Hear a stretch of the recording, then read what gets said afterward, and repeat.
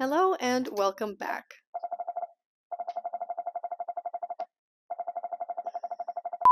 Hi friends and welcome back.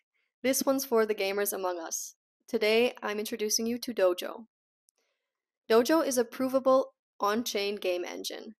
Now let's quickly break down what that exactly means. On-chain means that all of its actions occur on the blockchain.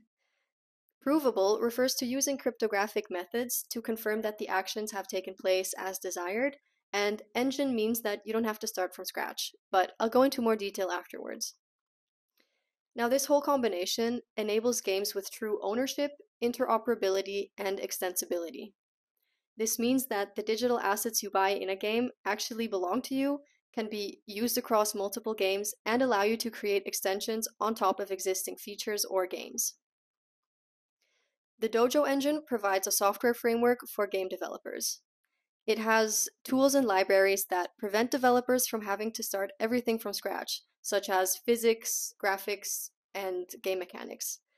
Very similar to how traditional game engines like Unity and Unreal Engine work.